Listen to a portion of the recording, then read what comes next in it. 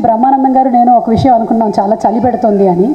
అది ఒక భయంతో కూడినటువంటి చలి. అంటే భారతదేశం మాత్రం కాదు యావత్ ప్రపంచం గర్వించదగ్గ మహనీయుల మధ్యలో కూర్చున్నటువంటి ఆ గౌరవం ఆ భయము ఆ ఆరాధనతో కూడినటువంటి ఒక చలి వేసింది అనమాట కానీ ఈరోజు నిజంగానే నా అదృష్టంగా భావిస్తున్నాను. రామినేని ఫౌండేషన్ వారు ఈ అవార్డుని ఇచ్చినందుకు అలాగే రామినేని ఫౌండేషన్ వారు మన భారతీయ సంస్కృతి సంప్రదాయాలని భావితరాలకి ఇలా తీసుకెళ్తున్నందుకు వారికి హృదయపూర్వకమైనటువంటి అభినందనలు తెలియజేస్తున్నాను.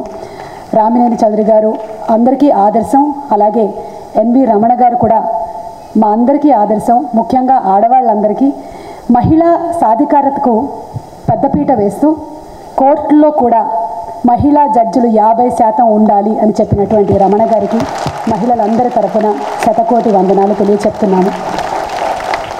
మా అమ్మగారు నాలుగో తరగతిలో నన్ను తెలుగు నేర్చుకోమని చెప్పినప్పుడు ఎందుకులే అని ఉంటే ఇంత ప్రేమ ఇంత గౌరవం? నేను మిస్ అయి ఉండేదాన్ని. అమ్మ ఇక్కడే ఉన్నారు. అమ్మగారికి నాన్నగారికి శతకోటి వందనాలు. అలాగే నిస్వార్థమైనటువంటి సేవని అందిస్తూ ఇంట్లో అన్ని పనులని చేస్తూ రమణ గారు లాంటి పిల్లల్ని తయారు చేసేటువంటి మాతృమూర్తులందరికీ నా ఈ అవార్డుని అంకితం ఇస్తున్నాను.